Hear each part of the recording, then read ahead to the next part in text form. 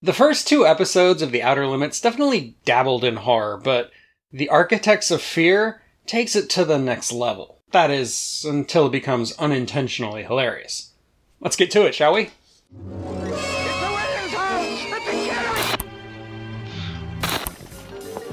Hit me. The Outer Limits.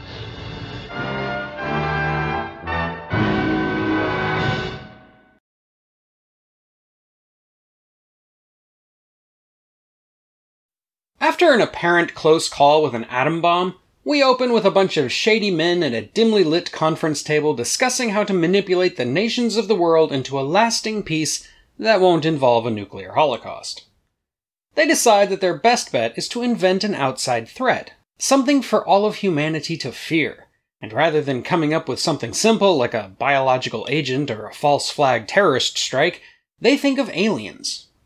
Specifically, they plan to exploit cutting edge medical science to transform one of their own into an alien life form from another world, one similar to the Mogwai they happen to have caged in the corner.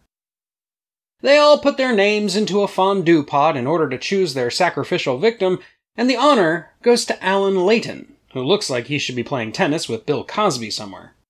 Get out of here. But but I've come to rescue you. You can't rescue me now. How come you always embarrass me when I'm rescuing you? Alan agrees to the procedure without hesitation, but mere moments after he passes the point of no return and begins the irreversible process of becoming a creature from the planet Theta, which is in the Andromeda constellation. Hey, somebody in the writer's room actually figured out that Andromeda isn't a star system. I wonder how they figured that out back then when they didn't have a comment section to tell them everything they got wrong. The audience discovers Alan is a married man, and Alan discovers that his wife, Yvette, is finally pregnant after years of trying. Hey, wait a minute. Should I sue for copyright infringement? He seems rather bored by the drama this causes, but he makes sure to ask her the kinds of questions every man asks when they learn they're about to be a father. Perfectly normal questions like, why couldn't you get pregnant five years ago? Or, how would you raise the baby on your own if something happens to me? Or, hey, do you want to go get wills drawn up? Somehow, Yvette figures out something weird is going on with her husband. Clearly, she must be psychic. No, really, she's psychic for some reason, because why not? Eventually, Alan reassures his wife by scratching her forehead and then proceeds to fake his death as the result of a top secret plane disaster in South America, which is a completely mundane thing that happens all the time. Yvette continues to be a skeptic. I don't believe it. But what can you do? It's not like she can see that he's alive by, I don't know, just turning around for a second. With Yvette out of the picture for now, the episode takes a turn for the Goldblum as Alan's transformation escalates into full on body horror. He has a bit of a psychotic episode.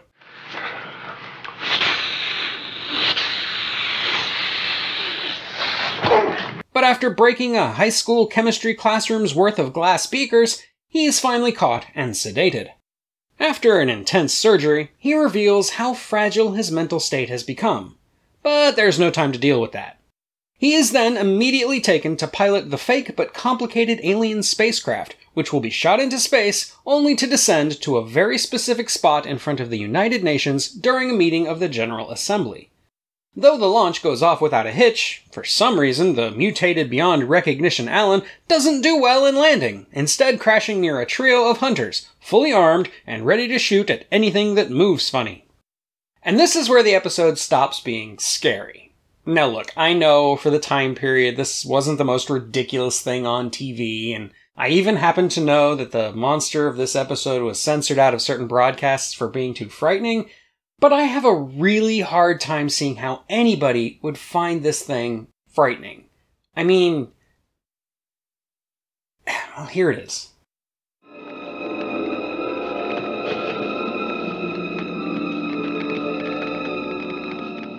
The hunters shoot the paper mache Muppet, and that remotely activates Yvette's psychic powers. The creature escapes into some tall grass and eventually makes it back to the lab, just in time to meet his wife and do an ET impression before dying.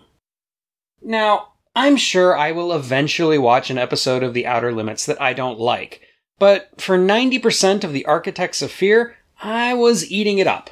This episode has everything Political intrigue, an alien invasion, body horror, human drama, wonderful technobabble, and a whole subtext about death and legacy. It's even really well directed by Byron Haskin and has a pretty great musical love theme.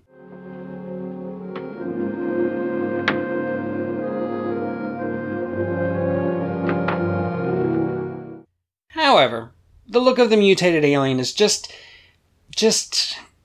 just look at those eyes. Words can't do it justice. And that's the Architects of Fear. Now, as always, do all those YouTubey things, check out my Patreon, and all that good stuff.